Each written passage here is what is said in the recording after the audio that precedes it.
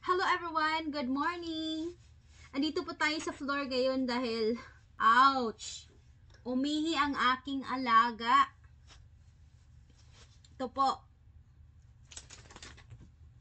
Dahil kasalanan ko din naman.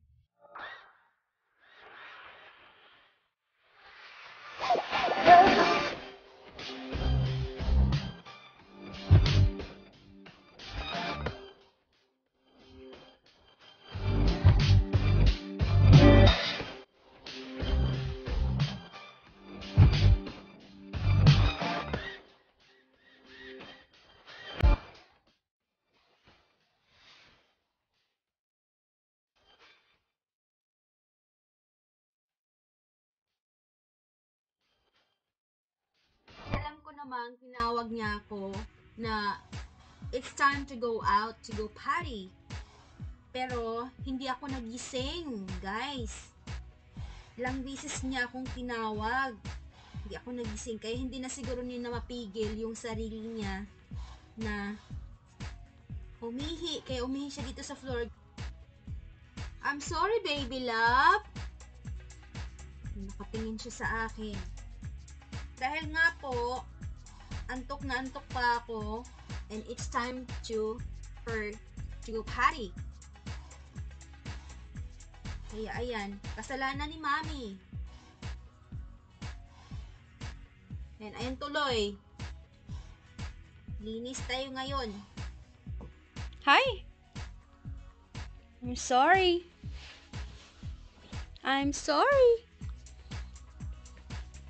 You called me? Called me many times, huh? It's okay. It's alright. I love you. And po dahil today is Sunday, kaya mag-start po tayo ng laundry. Ang dami kong laundry. Diyos ko. Ayan. Kulang na lang sasabihin sa akin, ay, laban mo na ako.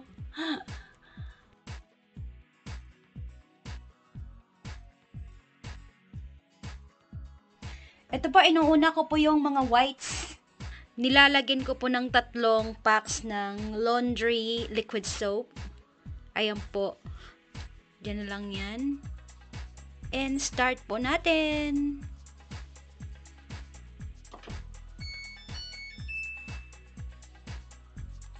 At nilalagay ko po siya sa heavy duty para medyo medyo matagal-tagal. At because that's white so kailangan nating laban ng maigi. At start na po natin. At ngayon naman guys, nandito po tayo sa kitchen ko. Ayan po, ang dami pong kalat. Dahil po ito si asawa. Hmm, alam nyo na. Kaya it's time to clean the kitchen.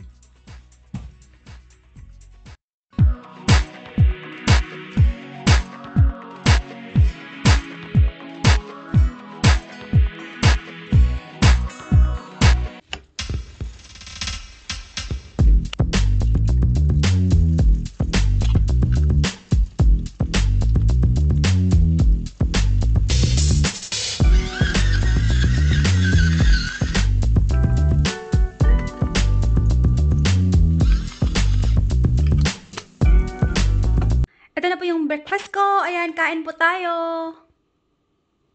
Baka naman, nagtanong kayo bakit ako nagmask dahil hmm, ayaw ko malanghap yung mga dust galing dyan.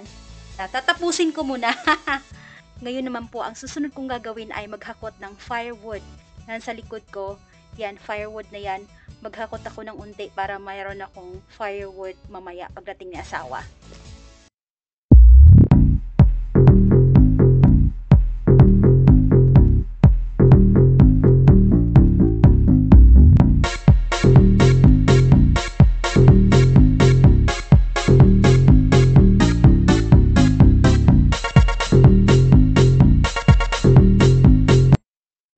Enough na yan for two nights. So, yeah. Next thing, I'm going to take the garbage out.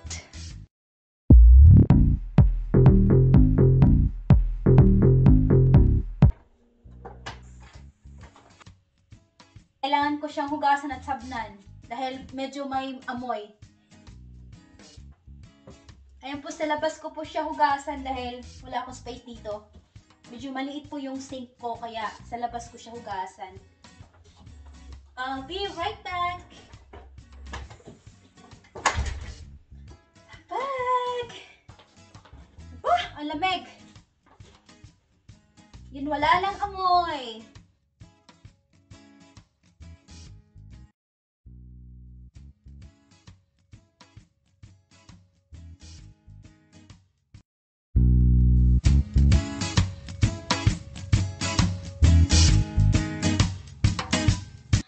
Gagamit po tayo ng Lysol or any disinfecting wipes para po lilinisan po natin ang labas ng ating garbage can.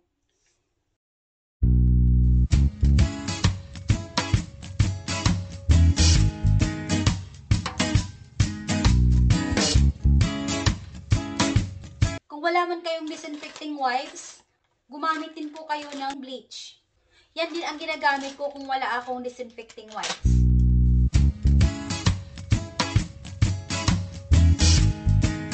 Dalawa po yung garbage can ko. Ito po yung regular garbage. Ito po yung ah, recycle. Kaya po dalawa po ito. Bago pa man magka-COVID, ganito na talaga ako guys. Pag wala akong ginagawa sa bahay, ito yung ginagawa ko, naglilinis ako. Pag off ko, naglilinis ako kung wala akong lakad. Kaya ayan. Hindi dahil sa COVID ah. Before pa man magka-COVID, ganun na talaga ako. So bukas po ay regular garbage lang ang kukuhanin ng garbage truck. Kaya hindi ko ginilalabas ang recycle. So every other week lang po siya kinukuha. Kaya pahinga muna tayo sa recycle ngayon. po, nandito po ako sa labas, guys. Ito po yung kuha ng camera namin sa labas. Nililinis ko po yung doorbell namin. Kasi, yung mga nag, nag ano, nagde-deliver ng mga packages, nagdo-doorbell yan. Kaya baka mamaya, hindi natin alam. Diba? Mas mabuti na rin yung safe tayo. Yan, pati, kahit kami lang dalawa ng asawa ko dito, yung doorknob namin, kailangan na malinis din yan. Nililinis ko siya every, uh, two times a week. Minsan three times pa nga eh. Paglabas, pagpasok ko, meron akong dalang uh, disinfectant wipes, kaya kailangan talaga yan. Okay.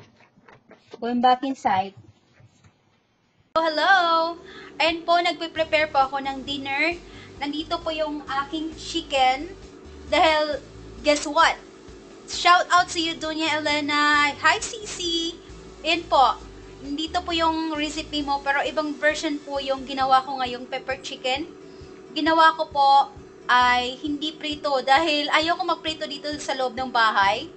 Andito po sa air fryer ang aking chicken. Instead na ipa-fried ko siya, ay nasa loob po ng air fryer.